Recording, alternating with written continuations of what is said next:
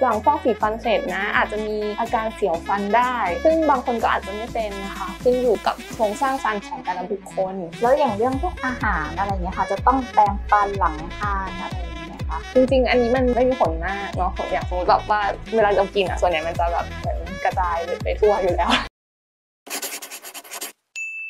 ชื่อแป้งชินดาภาทับเป็นไทยนะคะ เป็นพนักงานบริษัทเอกชนนะคะ มาทำฟันที่มาฟอกสีฟันนะคะ เพราะว่าอุปกรณ์หมอทางร้านสะอาดค่ะ แล้วก็บริการดีค่ะ แล้วก็มีความเชี่ยวชาญทางด้านการฟอกสีฟัน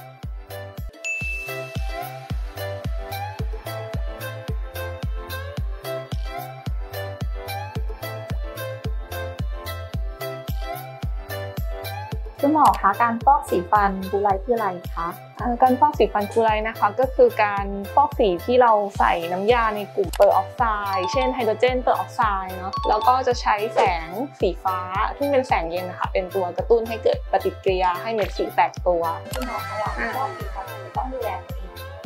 หลังฟอกสีฟันเสร็จนะ อาจจะมีอาการเสียวฟันได้ ซึ่งบางคนก็อาจจะไม่เป็นนะคะขึ้นอยู่กับโครงสร้างฟันของแต่ละบุคคล แต่ถ้าสมมติว่าเสียวฟันมากเนี่ยเราอาจจะใช้เป็นยาสีฟันแก้เสียวฟัน ซึ่งมีส่วนผสมของโพแทสเซียมไนเตรตอาจจะแปรงนานหน่อยสักประมาณ 4-5 นาที หรือว่าอาจจะทานยาพาราร่วมด้วยก็ได้ถ้าในกรณีที่เสียวฟันมากจริงๆเนาะก็เราจะต้องหลีกเลี่ยงอาหารที่มีสี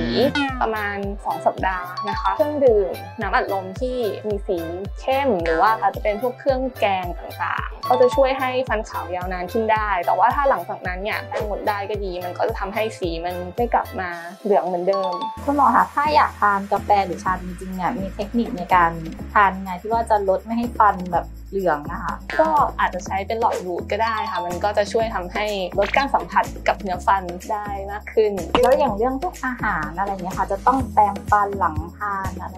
อย่างเงี้ยค่ะจริงๆ อันนี้มันไม่มีผลมากเนาะอย่างสมมติแบบว่าเวลาเรากินอะส่วนใหญ่มันจะแบบเหมือนกระจายไปไปทั่วอยู่แล้ว แนะนำเป็นว่าแป้งอาจจะทำเนี่ยตัวที่ฟอกที่บ้านร่วมด้วยก็ได้ เพราะถ้าสมมติชอบทานจริงๆเนาะอย่างถ้าแป้งทานบ่อยๆอย่างเงี้ยแล้วสมมติแป้งต้องมาฟอกทุก 3 เดือนอะไรอย่างเงี้ยอาจจะไม่มีเวลาก็เลือกใช้วิธีนี้ร่วมด้วยก็ได้ เราจะได้นานๆ ค่อยกลับมาฟอกที่คลินิก คุณหมอคะถ้าเกิดว่าน้ำยาเนี่ยโดนเหงือกหรือว่าโดนลิ้นหรือว่าเผลอหยดลงไปในคอเนี่ยอันตรายไหมคะ นี้นะคะก็จะทำให้เกิดการระคายเคืองได้เนาะเพราะว่าเหงือกเราเนี่ยมันประกอบด้วยสารอินทรีย์ซึ่งตัวน้ำยาเนี่ยมันจะสามารถทำให้เหงือกระคายเคืองได้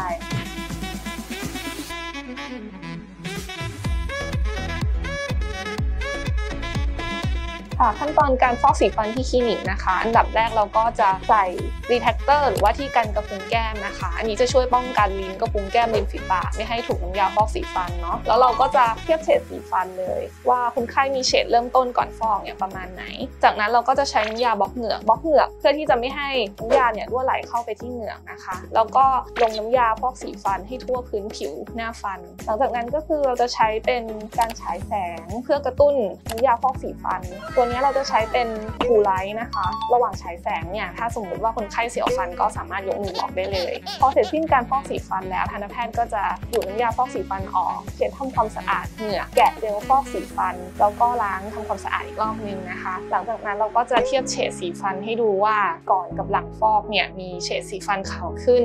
ประมาณกี่ระดับ